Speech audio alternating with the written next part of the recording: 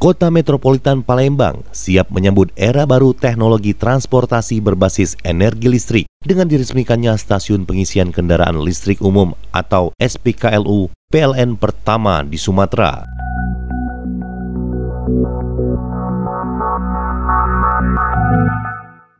Palembang sebagai kota metropolitan siap menyambut era baru teknologi transportasi berbasis energi listrik. Hal ini ditandai dengan diresmikannya stasiun pengisian kendaraan listrik umum atau SPKLU PLN yang pertama di Sumatera Selatan pada Jumat 26 Februari ini. Perangkat pengisian daya listrik khusus kendaraan berbasis motor listrik ini terletak di kantor PLN Unit Induk Wilayah Sumatera Selatan, Jambi, dan Bengkulu atau UIW S2JB di Jalan Kapten Arifai nomor 37 Palembang.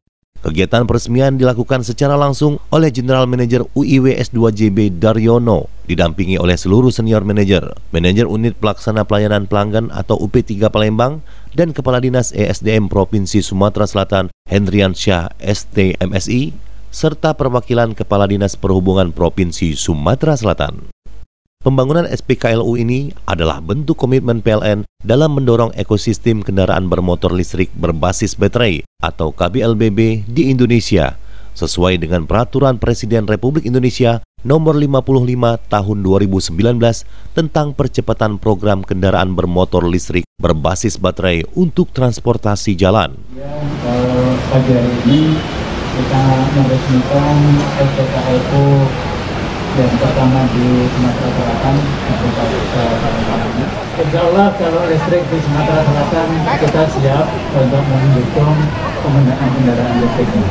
Sehingga mulai dari instansi pemerintah, BUMN, perusahaan daerah untuk mulai menggunakan kendaraan listrik berbasis baterai. Yang hari ini kita sudah coba, sudah kita test drive dan yakinlah bahwa secara safety kenyamanan mobil ini dari transformer. Jadi begitu kita masuk dengan apa sendirinya dia akan menyesuaikan dengan agronomi si supir atau apa drivernya.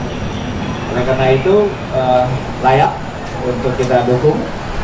Kemudian sekali lagi saya ingin mendukungkan bahwa potensi energi di Sumatera Selatan itu begitu melimpah. Kemudian energi fosil baik itu batu bara minyak dan gas itu menjadi sumber energi yang hari ini nikmatnya apa listriknya bisa dinikmati oleh masyarakat.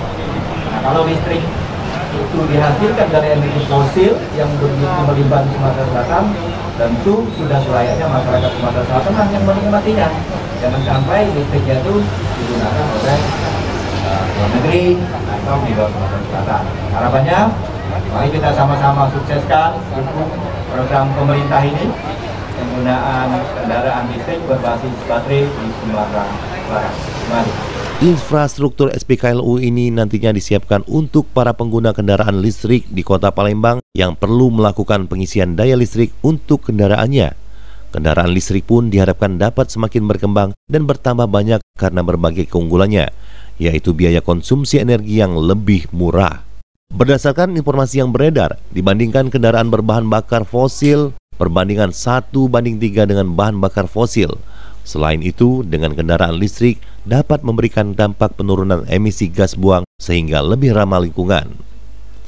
Secara nasional, hingga saat ini sudah terdapat 29 titik SPKLU PLN yang tersebar di 20 lokasi di seluruh wilayah Jawa dan Bali. Ke depannya, PLN juga akan menyediakan layanan home charging dan pemberian stimulus untuk layanan tambah daya maupun tarif untuk pemakaian khusus charging kendaraan khususnya mobil listrik. Dari Palembang, Sumatera Selatan, reporter Andi Ruskan, kameramen Marwah, Palembang Baru TV mengabarkan.